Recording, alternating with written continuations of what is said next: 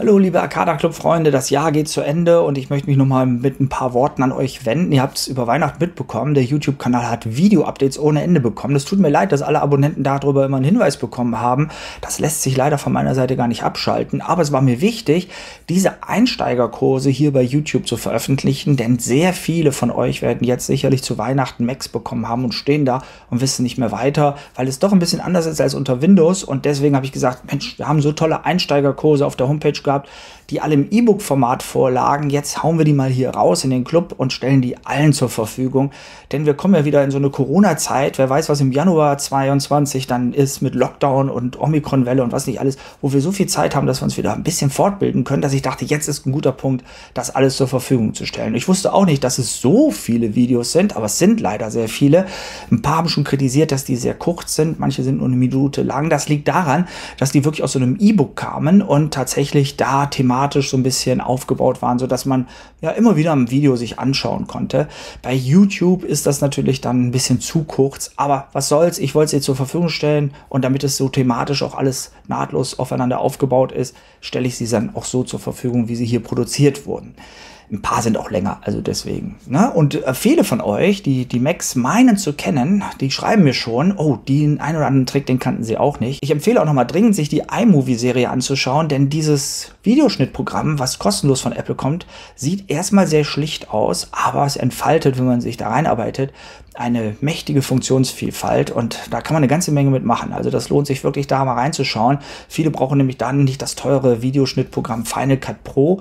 Das brauchen eher die Profis. Aber wenn man wirklich mal ganz schnell so einen Videoschnitt machen will für ein paar Urlaubsfilme, reicht iMovie schon völlig aus. Also meine Empfehlung, da mal reinzuschauen. Natürlich machen wir hier weiter mit den anderen Serien Arbeit mit dem Mac und ihr habt ja in letzter Zeit schon gesehen, da haben wir hier mit Affinity Photo gearbeitet. Für alle, die neu am Mac sind, das ist so die Photoshop-Alternative, die man einmal bezahlt und dann kein Abo hat, sondern sondern immer wieder benutzen kann. Und Affinity Photo gibt es manchmal auch zur Hälfte des Preises. Schaut immer mal auf die Homepage, dann lohnt es sich dazu zu schlagen. Das ist so ein, sag mal, Pflichtprogramm, was man am Mac braucht, wenn man mit ja, Bildern arbeiten möchte.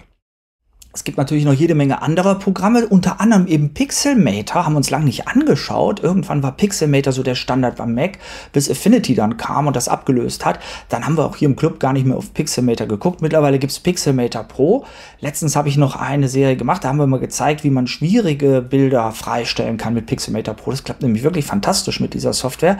Und die hat in dem Update sogar noch eine Funktion bekommen, mit dem man Grafiken ins Motion 5, diesem Animationsprogramm von Apple, überführen kann. Das schauen wir uns auch noch an. Also wir haben noch eine Menge vor hier im Club. Ihr merkt schon, wir versuchen eben die Anfängerthemen so auch aufzubereiten, dass alle mitkommen und alle Spaß bei der Sache haben. Wir gehen hier wirklich mal vom Spaß aus. Die Sachen müssen Spaß machen, müssen schnell erklärt sein und einfach erklärt werden. Das ist ja der Anspruch des Clubs hier. Gut, damit endet dann quasi mit diesem Weihnachtsgeschenk an euch diese riesen Videoserie mein Jahr. Aber ich mache weiter, keine Frage. Wir wollen ins Jahr 2022 blicken. SpaceX ist ja auch noch so ein Thema, die Raketensendung. Da fragen sich viele auch, Mensch, warum kommt es denn keine Live-Sendung? Da haben da so viel angekündigt im Januar, als sie die Live-Sendung gemacht haben. Aber es liegt daran, es startet im Moment nichts Spannendes. Elon Musk hat so ein bisschen Probleme, da in seinem Sumpfgebiet die Raketen zu starten. Die Umweltbehörde hat gesagt, so geht das da nicht. Und ähm, ja, er baut mittlerweile Rampen in Florida, weil er sagt, wenn ihr das da nicht macht, dann mache ich es halt in Florida. Aber so eine Rampe ist ja auch nicht eben so zusammengebaut. Aber er hat auch seinem Team schon gesagt, wenn wir nicht langsam auf die 1000 Starts kommen, kommen, die will er nämlich noch machen, dann äh, wird es ein Problem mit SpaceX geben. Wir müssen ein bisschen mehr Tempo geben. Und im Moment testen sie alle möglichen großen Raketen. Sie wollen einen Orbitalflug machen, wo dann unter der Rakete nicht nur drei Triebwerke sind, sondern 27, die gezündet werden. Also da sind sie dran. Sie testen die Raketen und wir sind natürlich dabei. Der Carsten sammelt auch alle Themen und alles, was es rund um die Sache zu berichten gibt, sodass wir demnächst auch wieder eine Live-Sendung machen können, wenn da wieder mal so ein Start ansteht. Deswegen lohnt es sich, auf den Abo-Knopf hier im YouTube-Kanal zu drücken auch wenn über Weihnachten der etwas strapaziert wurde. Aber ihr bekommt dann auf jeden Fall immer einen Hinweis, wenn so eine Live-Sendung ansteht oder neue Videos hier eingespielt werden, sodass ihr auch nichts verpasst und euer Wissen erweitern könnt. Und wer weiß, was uns nächstes Jahr noch erwartet. Ich gehe mal davon aus, das Jahr 2022 wird das Jahr des Ende der Corona-Krise sein. Aber wir werden leider scheinbar noch mal durch diese Omikron-Phase müssen.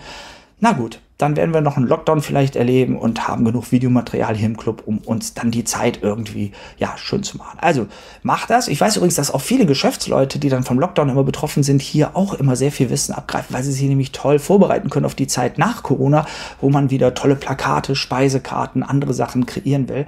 Und viele machen das mittlerweile nicht mehr über Agenturen, sondern dank des Clubs hier tatsächlich selber. Und das klappt wirklich auch hervorragend, machen wir in unserer Firma ja auch und spart eine ganze Menge Geld. Also insofern gucken wir auch mal in diese Richtung ein bisschen, wie man sowas vielleicht kreiert und basteln da mal ein bisschen rum. Also macht's gut, ich wünsche euch alles Gute, rutscht gut ins neue Jahr rüber.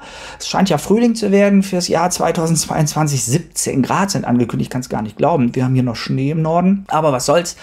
Irgendwie ist das Wetter auch das nächste Problem, was wir vor uns haben. Jetzt genug Probleme, jetzt würde ich sagen, geht's weiter mit Zuversicht und viel Spaß. Bis dahin, macht's gut.